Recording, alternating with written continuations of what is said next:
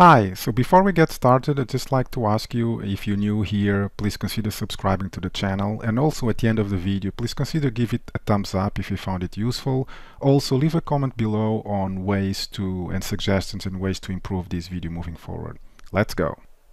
Hi, in this video I'm going to show you the um, Mockito 2 limitations in terms of the methods that you cannot uh, mock um, as well as you know obviously a lot of stuff that Mockito 2 supports so. So the first thing is you cannot mock static methods. Uh, I'm going to show you uh, another library uh, called Power Mockito that enables you to do that if you wish to do that. You cannot mock constructors you cannot mock the object equals and the object hashcode methods. And finally you cannot mock final nor private methods so I've got here a um, in this simple uh, test class a bunch of uh, inner types to that you know basically to demonstrate the limitations as well as you know things that we can actually do. So I've got here a final class which has a, uh, a foo method. So let's basically uh, try to mock this class and see what we get. So I've got here test final class and essentially uh, as you see what I'm doing is I'm just basically trying to mock this class. And um, you know this is not possible. You cannot mock a final method or I should say here slash type. So if you have a final class uh, and you're trying to mock it that does not work. So if I try to run this method then it actually passed because I am uh, um, so an exception is actually thrown here and the exception is an Mockito exception um, you know because you can't really mock this uh, final class. So um, the um, other example is um, um, abstract class. So basically you can mock abstract classes um, either with a concrete method or an abstract method in this case and uh, you know basically I have here an example where I am mocking the class and I am actually uh, verifying um, you know the behavior on um, uh, a concrete method here. And I am stubbing the um, abstract method. So this is uh, this should work because this is perfectly uh, valid in uh, JUnit sorry in Mockito 2 so notice that this thing passed uh, because you know this is perfectly okay.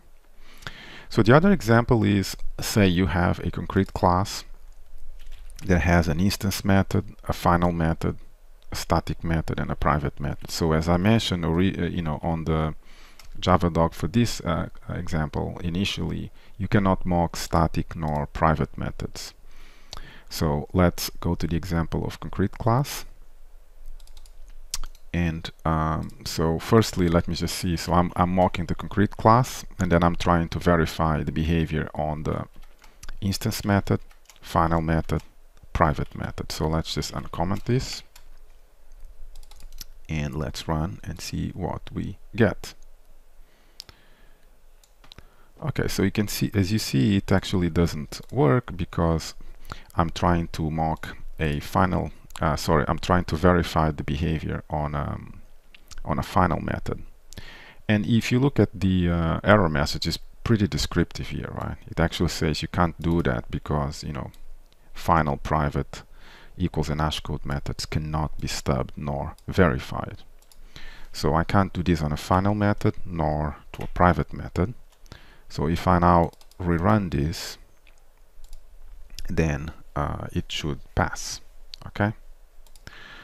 So we looked at the final class example that we cannot uh, mock. We look at an abstract class where it's perfectly fine to mock and to stub a concrete method or abstract method. We look at a concrete class where you know we can um, stub or verify a concrete method or an instance method I should say but none of these methods we can verify because it's final, static and private. And what about an interface? So obviously in Java 8 and, and, and greater we can have default methods or static methods. And obviously as you can imagine we cannot um, stub or verify uh, a static method on interface but you know a um, abstract method or a default method you know are perfectly supported so let's go to our interface example here. And as you can see I'm mocking the interface. And then I am verifying the behavior on on the default method and the abstract method. So this should be perfectly fine because it's supported. Okay? So initially I mentioned that if you want to um, mock static methods Mockito 2 does not support it but I, I did say that there is a, a, library that does allow you to do that which is called Power um, Mockito so before I actually show you the example let me show you the configuration that you need for um, Power Mockito so on the Gradle uh, on build.gradle you basically need to add these two uh, dependencies here. So you need to add the uh, uh, PowerMock API Mockito 2 and the module uh, JUnit 4. Um, so one thing I should say is um, I did, I'm going to put a link below on the video that I described how to add the dependencies for um, JUnit 5 and Hamcrest. So, but basically, these are the uh, full set of um, dependencies that you need to be configured in Gradle in order to use JUnit 5 with Hamcrest and Mockito Core. And like I said, I've just added these two uh, dependencies because I want to show you how you can actually um, verify or stub a static method. So basically this is the example here. So what you need to do is you basically have to use the power mock runner um, on top of uh, Mockito core and um, every class that contains so recall that this class that I'm trying to mock is the class that contains the static method that I'm interested. So for every class that contains a static method that you're trying to uh, verify or stub then you need to uh, annotate it here with prepare for test.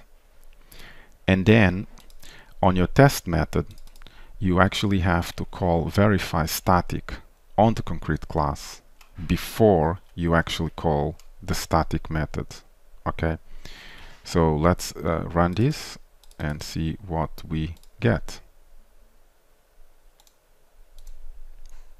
So just one thing I'd like to mention. Notice that this is different than the order is different than when you are um, you know verifying uh, behavior in Mockito so in Mockito if you recall here we first um, you know call the method and then we verify that it actually got called. Whereas in power mockito we actually verify first and then we call the method okay and you have to do this for each and every invocation okay so this concludes the lesson on um, the mockito 2 limitations and uh, you know all of the, an overview of all of the types and methods that you do you can actually um, you know verify and stub. This is Nilton from craftofprogramming.com. Thanks for watching.